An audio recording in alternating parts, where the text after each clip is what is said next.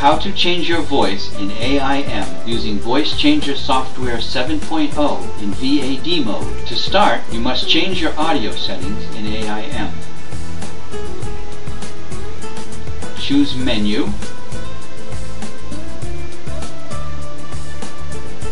then choose Settings.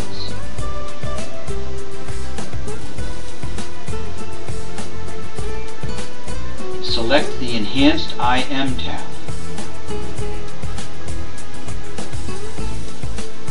Then change the setting for your microphone by selecting Avnex Virtual Audio Device from the drop-down.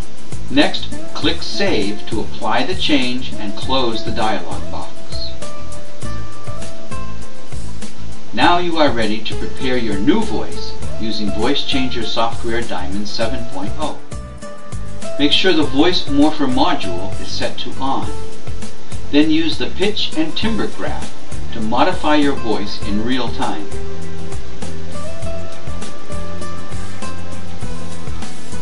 You may want to open the VCS Advanced panel to make further adjustments to your voice, such as equalizing it, adding effects, and so on. For more details, go to the link shown on screen.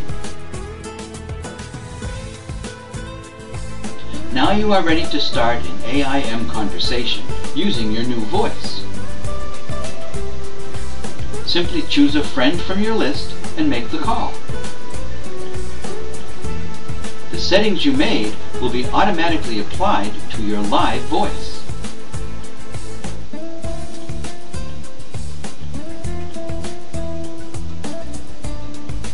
Remember not to turn off VCS D7 during the call